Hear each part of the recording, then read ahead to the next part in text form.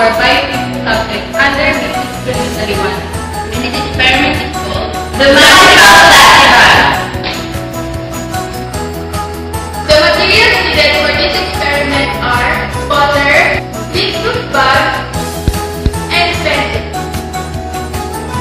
For the procedure, first,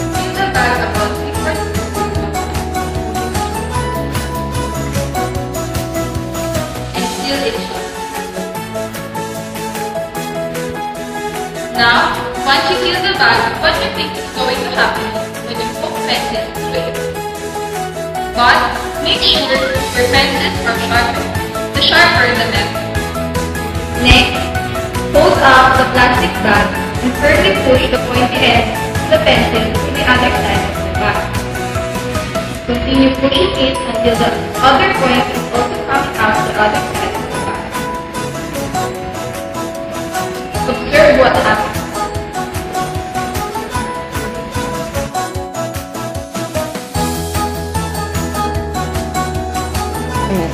No water spills out of the holes because the Ziploc bag is made up of polymers. Polymers have long chains of molecules that are tough and flexible. So when you poke a sharp pencil through it, the pencil slides in between the chains of molecules that make up the polymers.